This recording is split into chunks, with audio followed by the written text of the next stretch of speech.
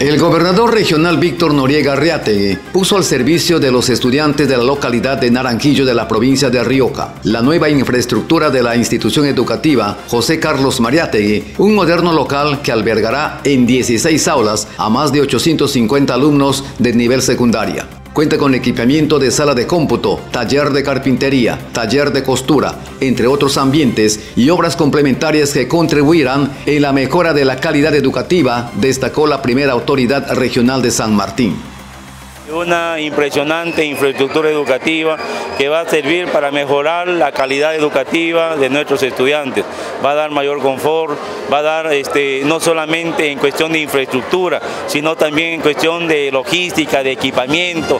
Se les tienen talleres de costura, talleres de carpintería, tienen unos centros de cómputo.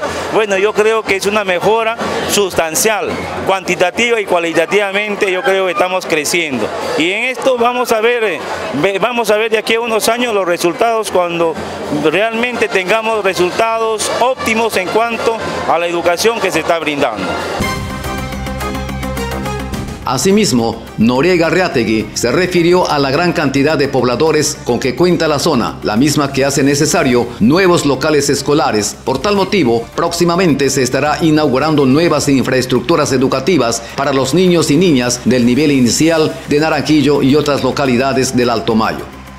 Tenemos unos pelas que ya dentro de dos meses aproximadamente debemos estar inaugurando, ¿no? centros educativos iniciales que va a ayudar bastante porque Naranjillo es un centro, es uno de los centros poblados más grandes que tiene la región San Martín y tiene una población estudiantil que va creciendo día a día y uno de los, de, los factores es básicamente el factor migratorio que hay hacia Naranjillo, que es un centro poblado pujante, que hay una dinámica económica que va incrementándose, entonces eso hace también las necesidades de mayor infraestructura y nosotros como gobierno regional estamos respondiendo, ya inauguramos este centro educativo importantísimo y dentro de unos meses, un par de meses, estaremos inaugurando centros educativos iniciales.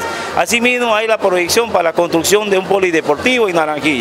Y de esa manera, pues yo creo, todos unidos vamos construyendo ese desarrollo que queremos para nuestros pueblos.